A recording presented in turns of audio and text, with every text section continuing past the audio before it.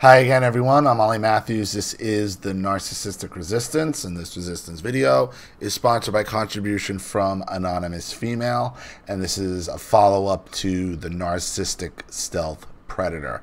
Hi again, Ollie. Thanks for the video on the Stealth Predator you did for me the day before yesterday. After reading all the comments, I realized the obnoxious, semi famous woman he had a crush on was probably being that way as he was talking about me to her.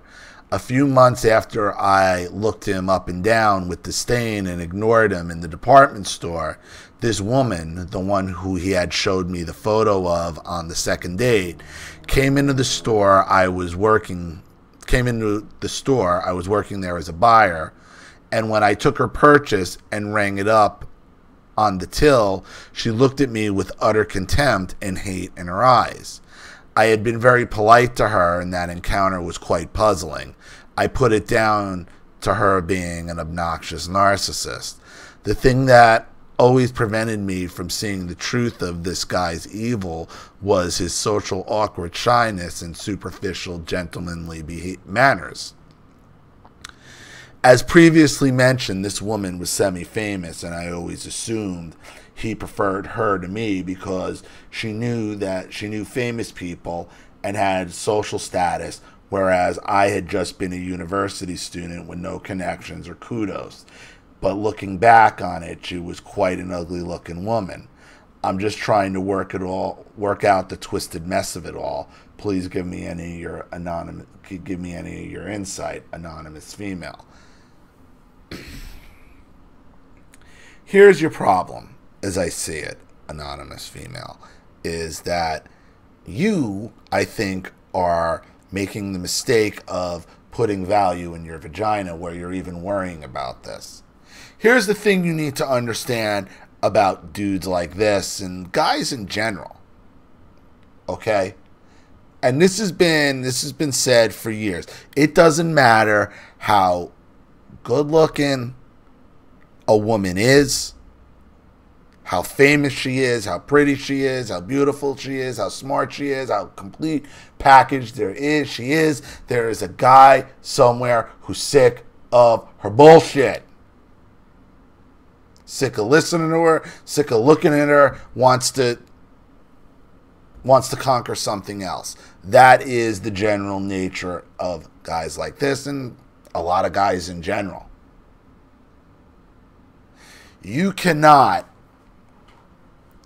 waste your time trying to figure out why this this guy is, you know, what what her issue is now. Listen, doesn't matter how semi-famous, famous, popular, not popular, ugly, pretty she is. Okay?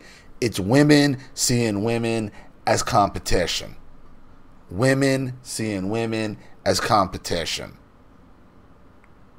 That's how they that's how these women are. That's who he targets.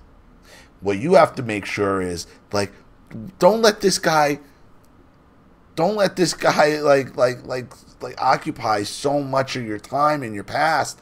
He isn't worth it. Like he was just this casual hookup okay, that was used just playing typical narc predator mind games with you. Okay? The reason he was able to even get her in the first place is because she's damaged, because she has low self esteem. And I understand in your first letter, I, I, read it wrong that he was tall, taller, not short, and I, I got it. He was trying to make himself, but that's what he's doing. He's trying to make himself into into this into this this shy meek thing and he's really a predator looking for weak women to snap down on. She's a weak woman. She sees you as competition and she'll see you as competition for life. That's how these things go. That's why i say a lot of these women who think through their vaginas they don't progress past the high school lunch table. The competition never ends don't be like them. Move on past this because the whole situation really isn't, doesn't seem like it's all that worth it. So I hope that helps. Thank you, uh, thank you again for another contribution and a follow-up story. I really appreciate it, anonymous female. Thank you to everybody watching. Please leave any opinions or advice in the comment section below. And again, if you want your story read on the channel, you have a topic you'd like me to cover, a narcissist you'd like to expose, you'd like to set up Skype, a phone call, have a private video made, or a Facebook live chat, or you'd like to sponsor a video like this for someone who needs help and can't afford it, or just make a contribution to the channel in general to keep it supported, growing, and successful because this channel survives 100% on contributions from all of you. Without you guys, all this goes away. So if you like what you see here and you want to see more videos like this, you know what to do with the PayPal and email links in the description box. Also, please like and share this video wherever you can. Subscribe to my channel if you haven't, and be sure to click the subscription bell to be notified of all my video uploads. I'm Ollie Mathews. This has been The Narcissistic Resistance. Take care.